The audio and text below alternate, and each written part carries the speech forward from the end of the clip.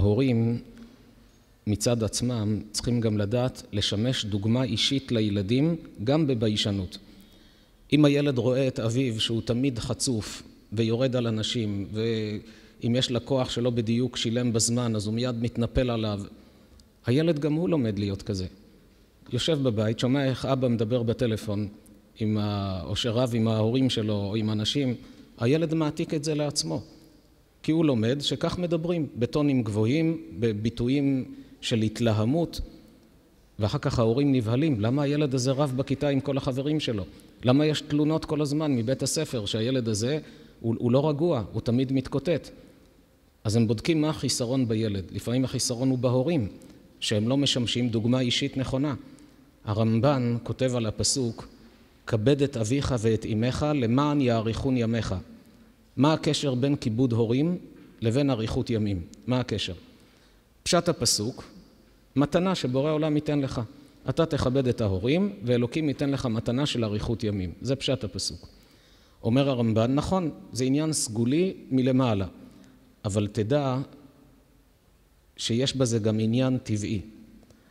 כי אם אתה תכבד את הוריך המבוגרים, ילדיך יראו דוגמה איך מתייחסים לאבא ואימא זקנים, כשאתה תזקין הם יתייחסו אליך באותה צורה, יכבדו אותך. כי הם למדו שאבא ואימא זקנים הם קודש קודשים. כי הילד רואה שאבא יהפוך את העולם כדי שסבא יהיה מאושר. הוא יטרח המון כדי שסבתא יהיה לה הכל. הילדים רואים דוגמה אצל ההורים, כשההורים מזקינים, גם הילדים יהפכו את העולם כדי שההורים יהיו מאושרים. אבל אם הילד רואה אצל הוריו זלזול בהוריו המבוגרים, ביטויים שהם לא לעניין, מילים פוגעניות, הוא לומד שמה זה הורים מבוגרים? סוג של מטרד שרק מציק ומפריע וקשה לחיות איתם. גם הוא יתנהג עם ההורים בצורה כזו. הדוגמה האישית בחינוך היא תמיד משפיעה יותר מכל שיחת מוסר. אם הילד רואה את האבא שהוא מתפעל מתורה ומצוות, מתפעל ממעשים טובים, שמע סיפור על אדם שהיטיב למישהו, על אדם שוויתר משלו, ואבא מתפעל מזה ומספר לכולם, הילד יודע שזו דוגמה לחיקוי. אותו תלמיד חכם, אותו גדול בתורה, אותו אדם שעמד בניסיון, זו דוגמה לחיקוי. אבל אם רואה את האבא, שכשיש כדורגל במסך אין עם מי לדבר.